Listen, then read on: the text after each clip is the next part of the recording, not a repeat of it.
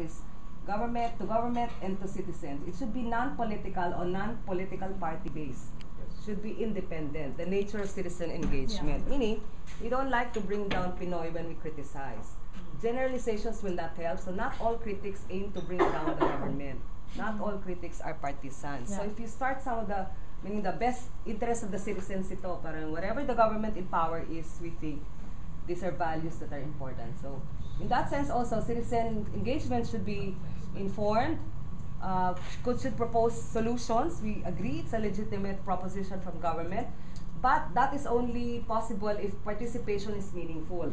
Meaning beyond consultation meetings and press conferences and some closed door sessions, citizen participation should be much more. Uh, what else?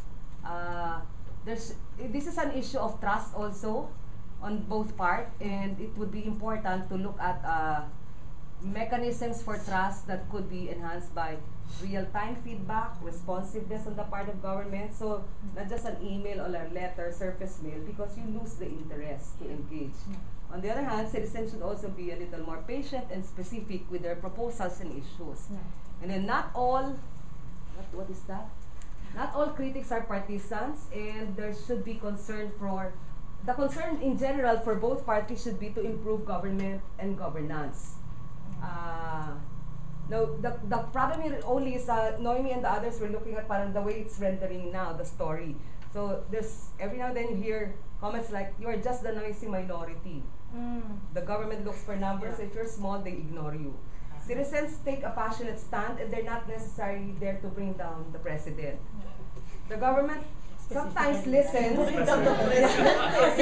know, with the political party. Ba parang ganon? Parang, because the president has always been, not just media, but generally, some, people in government sometimes listen, but they do not acknowledge at all Mm. that this came from the CSO like this or the citizens. Yeah. The question really is, uh, well, critics should propose solutions, we agree, and then sometimes it's uncomfortable to be requested to sit down with government in closed door. Meaning, you know, nothing comes out, this is secret, this is between us, Yeah. etc. So the role should be, the relationship should be open. And there is therefore, the openness is a function of uh, what we wish should not happen, the risk of co-optation Yeah. with government because some mayors also have their own NGOs already or CSOs and uh, so something like that. Anyway, Noemi, did I miss anything?